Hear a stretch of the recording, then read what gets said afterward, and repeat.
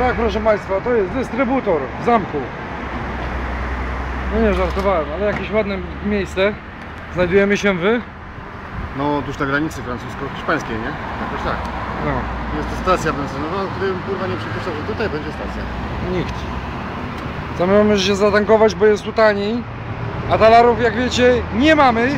Chociaż troszki dzięki Wam mamy, mamy. I te troszki zamierzamy wykorzystać, troszki.